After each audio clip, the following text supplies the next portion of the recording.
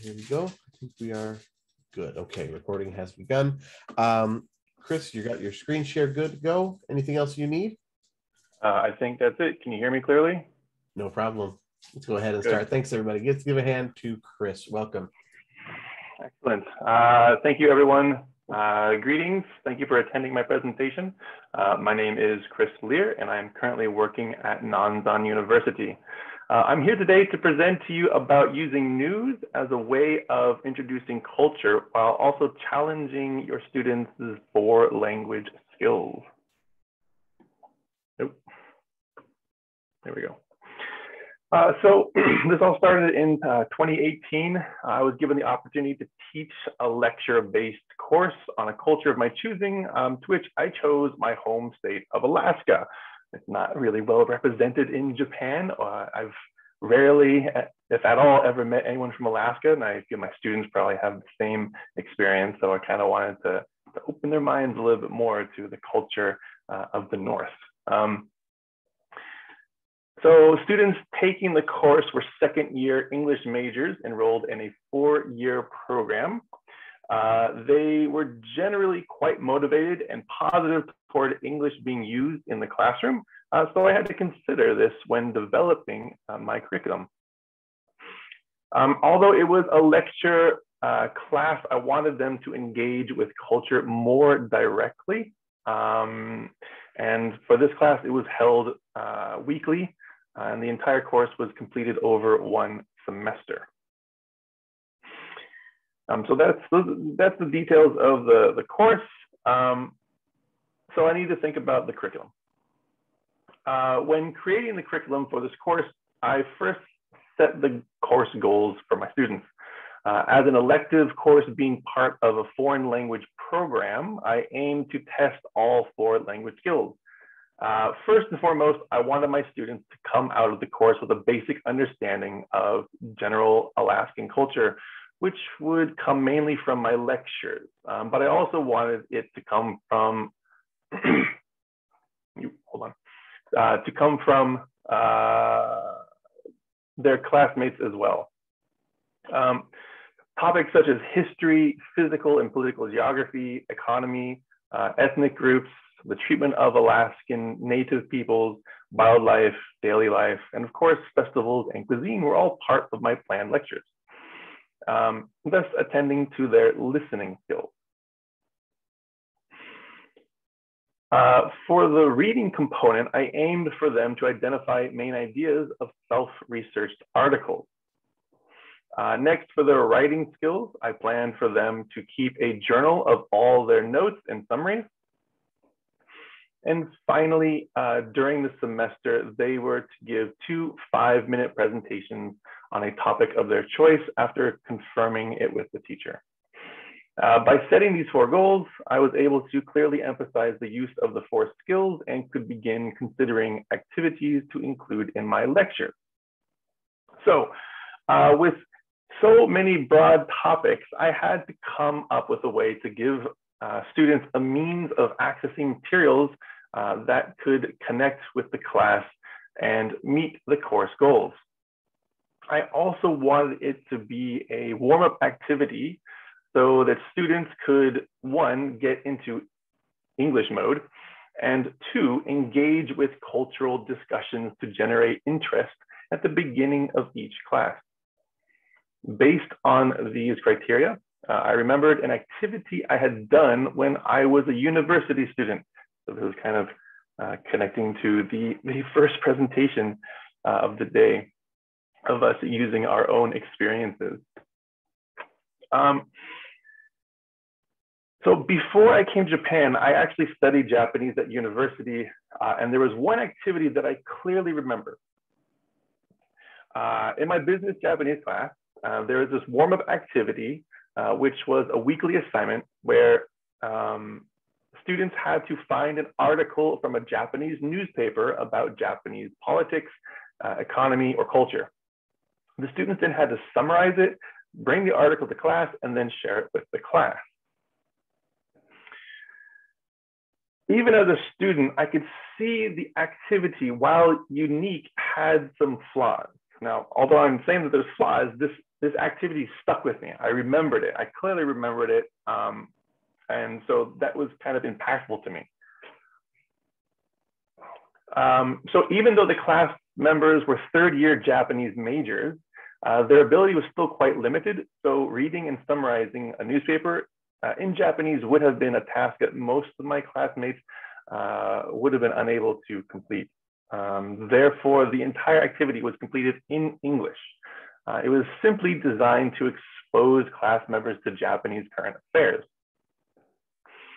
Another negative aspect was that the activity was unassessed, and even though my classmates always completed the task, often students would check an online newspaper 10 minutes before class and bring the first article they could find, uh, resulting in several class members bringing in the same article to class. Uh, finally, the teacher would call on each student to explain their article to the class one by one. This resulted in a large amount of time for just the warm-up activity. So uh, by recognizing these issues, I was able to make some adjustments that suited the needs of my lecture course and the needs of my students. Um, so here's a copy of one of the handouts I gave to my students. It's not complicated, it's very simple. Uh, the weekly assignment tasked the students, uh, uh, oh, sorry, the weekly assignment was, uh, was tasked to students to search Alaskan-based newspapers for an article. Uh, I gave them a selection of six different newspapers in order to provide them with the flexibility to investigate the news in different regions of Alaska. Uh, after selecting uh, and reading an article, students had to write uh, a short summary in the box on the left, uh, naming the newspaper they used and the date of the article.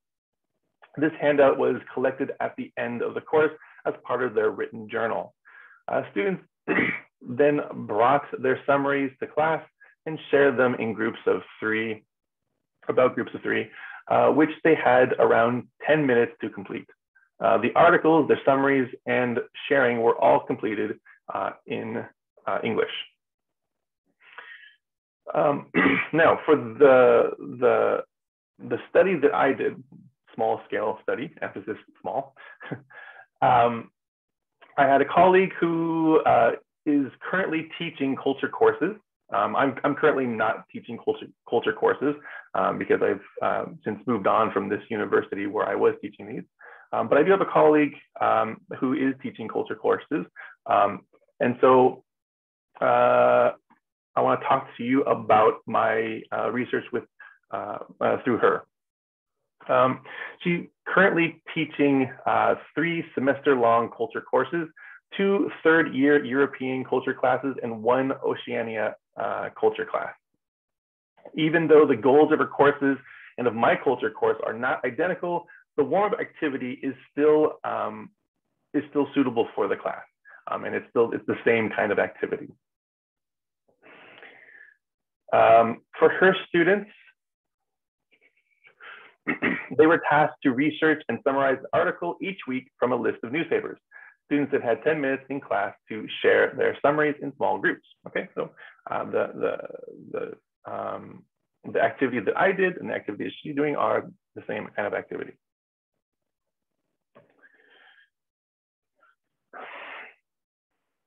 Uh, students were then given a 15 item Likert scale questionnaire. Likert scale uh, had six points ranging from strongly disagree uh, to strongly agree. Uh, the questions aim to explore students' positive, negative responses to statements related to uh, three categories, ease, enjoyment, and value of the activity. Uh, each issue has a positive and negative statement. Additionally, there were three open questions. Uh, the entire questionnaire is written in English. However, for the open questions, students were told that they could answer in either English or Japanese. Uh, the questionnaire was given once in the middle of the semester.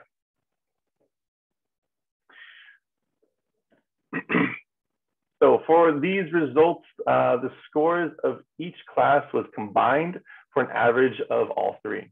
Uh, first, looking over the results of the Likert scale questions, we can see that the students' responses for ease of the activity. Uh, starting off with finding an article, students found the research aspect of the activity to be slightly easy with an average score of 4.33. Reading the article resort, resulted in a score, score of 3.67, suggesting that the activity was neither too difficult nor too easy. Uh, finally, the questionnaire showed that uh, summarizing the article was the most challenging of the three, resulting in a score of 3.25. Uh, still above average, but um, definitely getting more towards the, the center. uh, moving on to student enjoyment of the activity, uh, they showed a positive opinion about reading the article, um, sharing the article, and hearing the uh, hearing from their group members, uh, with the latter being the most preferred. Students really enjoyed interacting, um, especially when they weren't in the spotlight having to uh, read their summary. Uh, finally, the next category looks at the student's perceived value of the activity. uh, students responded positively for both the items inquiring about helpfulness in understanding other cultures and learning more about uh, other, culture, other cultures' news. when given a statement about the activity share being a waste of time, okay, so we have a kind of the opposite. Instead of looking at the value, we're looking at uh, uh, if it's if it has has no value. Um, a majority of the students strongly disagreed uh, and gave it, which, which resulted in an average score of 2.14. Okay, so uh, the students definitely felt that the activity had um, value.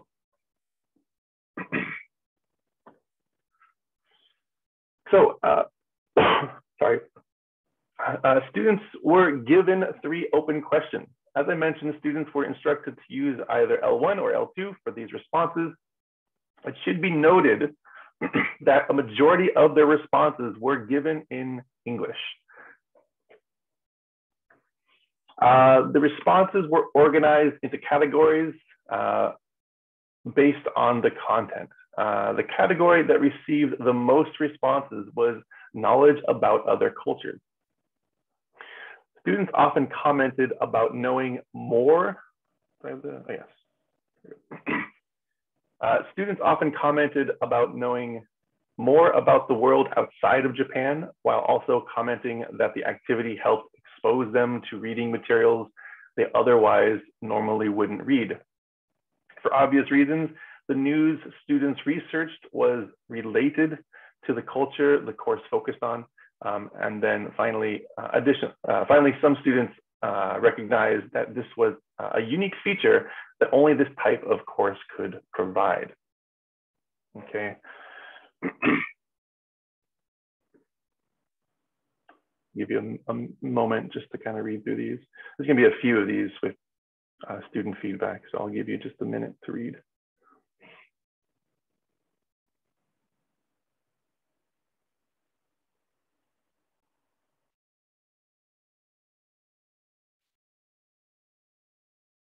Okay, moving on.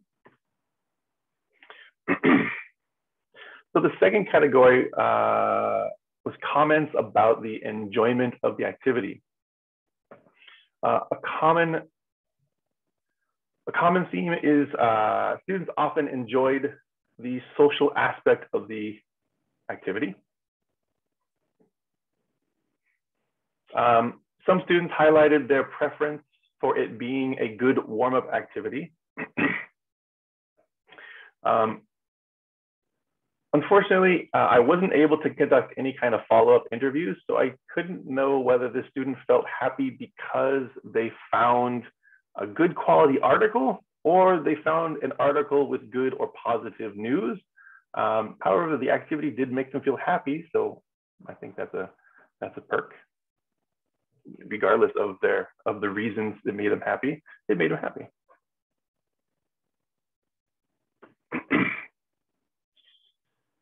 Um, now, although I've been showing you some positive reactions, there also were some criticisms of the uh, activity. Uh, some students commented that the journal handout didn't include a section for them to also write down notes about their group members' summaries. uh, because uh, it was divided into the two parts, their own summary and then the, the notes for that day's lecture. Uh, they wanted uh, a little bit more space to, to kind of take in, take in what their group members were saying. Sorry, hold on. I'm losing my voice. there you go. Um, the most common criticism was related to the length of the sharing activity being too long. Remember, it was for both my uh, my own experience and, and, my coworkers' experience. We said it for 10 minutes, um, and they felt that this was just too much. Um, uh, they they noticed that uh, they'd finish they quickly finish sharing their their summaries and then some other groups would just start having their own kind of uh, chat time about uh, non-article related uh, things, maybe in in L in L1. um, in addition to this feedback, some students suggested a time limit on the sharing time to challenge them to highlight the most important parts of the article for them to summarize. So uh, if your students do have that ability to recognize the, the key points of an article, then it could be a good way to challenge them to say, hey, summarize your article in one minute or in two minutes, depending on its length.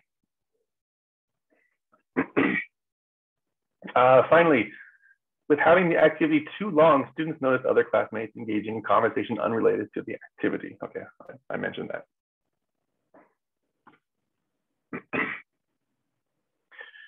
One more criticism students responded with was the need for having more guidance for what articles to research. Several students noted that they wanted the teacher to give them a topic such as news about the government or famous people, nature, and so on. While not having as many responses, sorry, give me a moment.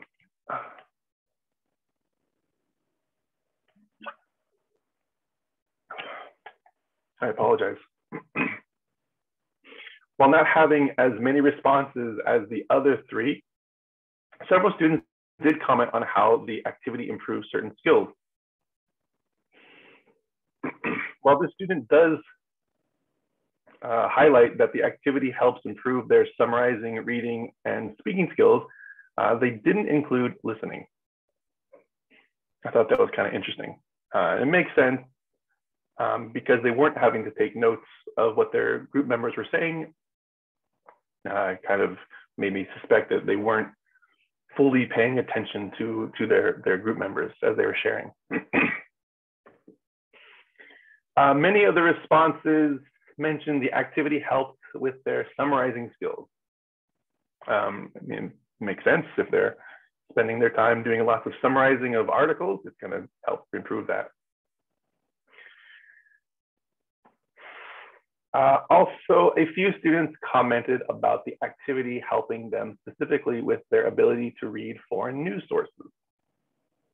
Um, I thought that was uh, quite important. um, being able to uh, expand their ability to read news from different sources and uh, different cultures will help them uh, in the future uh, be able to, to read beyond just uh, local news or, or news from Japan and get their information elsewhere.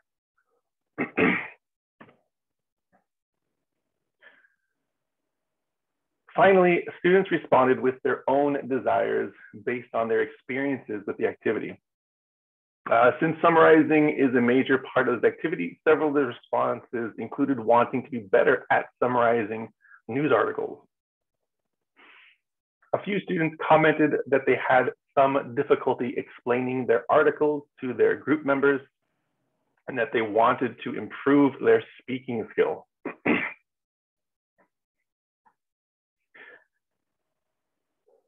and then uh, finally for this quote, uh, I chose this quote as it was uh, unique compared to the others. The student recognized that they often chose easier opinion articles and that sometimes they wanted to challenge themselves more. Um, so this might be uh, a possible indicator that uh, by assigning a specific type of, uh, of article could be a way of uh, getting students to move away from what they're comfortable with to something that's uh, unfamiliar or more challenging for them.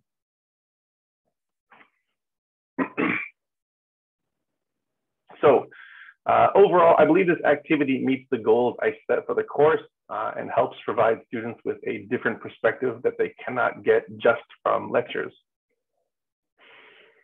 Uh, students showed a strong interest in the social aspect of the activity and appreciated the opportunity to research information from foreign news sources. a majority of students felt the 10 minute length of the sharing activity was too long. And a few students requested that the researching aspect had more guidance and relevance to the content of the lecture for that day. Uh, based on these findings, I would make the following recommendations. Uh, I would add a time limit to the summary share activity, giving them one or two minutes per group member to discuss their article.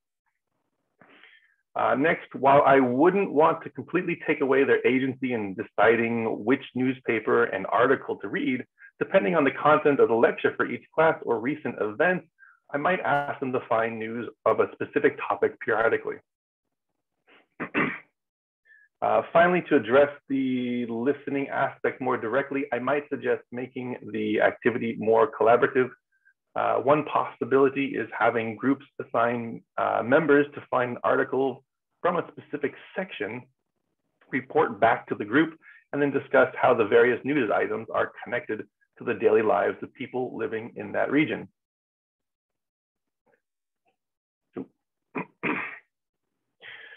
Well, uh, thank you everyone for listening to my presentation. I hope you found it as interesting as I did while going through the results. Uh, if any of you are interested in using this activity in your own class, or if you would like to uh, collaborate on expanding this research to include other groups of students, then please contact me at my email. Uh, this is the end of my presentation, and I'm happy to answer any questions or listen to any comments you may have. Thank you. Thank you very much, Chris. We are going to open it up for questions. We have a, a couple minutes left. We could probably take one or two questions if uh, if they're quick.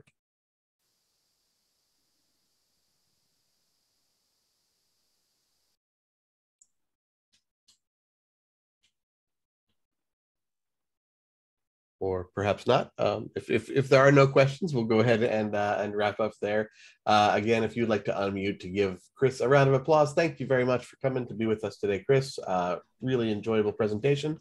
Uh, we are going to close this room briefly uh, at 420. Uh, everyone's going to go back to the main room. We have our um, guest speaker, Professor Brian Cullen, giving our presentation on balancing theory and practice in developing materials.